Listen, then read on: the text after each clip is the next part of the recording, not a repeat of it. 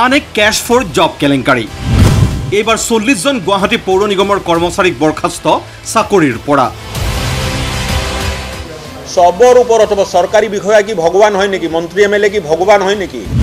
বক্ৰপথৰে চাকৰি লোৱা চল্লিছজনক বৰ্খাস্ত।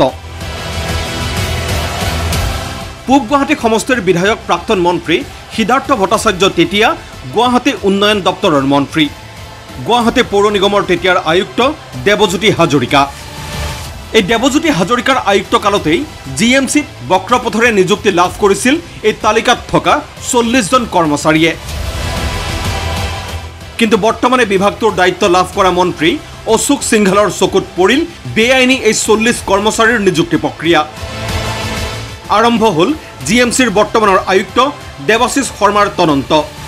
পৰিণতি চল্লিছজনক তৎকালী বৰ্খাস্ত চাকৰিৰ পৰা। প্ৰথম মই যেতিয়া জি এম চিত যাওঁ তাত সাংবাদিক বন্ধুসকল আছিলে আৰু তেখেতসকলৰ পৰা এজনে আহি অভিযোগ দিলে যে জি এম চিত বেআইনীভাৱে নিযুক্তি হৈছে। মই অভিযোগটো বিচাৰোঁতে কিবা অভিযোগ পাইছোঁ বুলি তেতিয়া কমিশ্যনাৰে মোক জনালে। মই তদন্ত কৰিব দিলোঁ। লিখিত এটা আদেশ দিয়া হ'ল যে তদন্ত কৰিব লাগে। তদন্ত পিছত যিটো ব্যৱস্থা আছে সেইটো ব্যৱস্থা ল'ব লাগে মই। আৰু তাৰ পাছত পূৰ্বৰ মন্ত্ৰী সিদ্ধাৰ্থ ভট্টাচাৰ্য পূৰ্বৰ আয়ুক্ত দেৱজ্যোতি হাজৰিকা সকলোকে ভয় খুৱাই মন্ত্ৰী অশোক সিংঘালৰ ঘোষণা। মন্ত্ৰী বিষয়া কোনো সাৰি নাযাব প্ৰয়োজনত হ'ব চি বি আই তদন্ত। চবৰ ওপৰত হ'ব চৰকাৰী বিষয়া কি ভগৱান হয় নেকি? মন্ত্ৰী এম এল এ কি ভগৱান হয় নেকি? চবৰ ওপৰত ব্যৱস্থা হ'ব। মই কি ক'লো?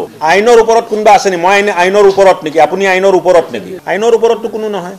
শাসকীয় দলৰেই বিধায়ক কিংবা প্ৰাক্তন মন্ত্ৰীৰ বিৰুদ্ধে বৰ্তমানৰ মন্ত্ৰীৰ এনে স্থিতিয়ে নিশ্চিতভাৱে জোকাৰণিৰ সৃষ্টি কৰিছে দিছপুৰত। বক্ৰপথৰে চাকৰিৰ তদন্তই আগন্তুক সময়ত কেনে ৰূপ ল'ব তাৰ ওপৰতেই নিবদ্ধ সকলোৰে দৃষ্টি।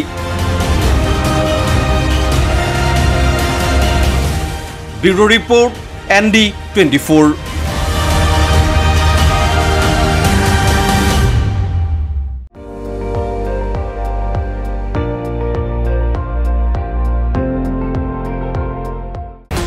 আপুনি চাই আছে এন ডি টুৱেণ্টি ফ'ৰ। সৰ্বশ্ৰেষ্ঠ নহয় সৰ্বোত্তমৰ দৌৰত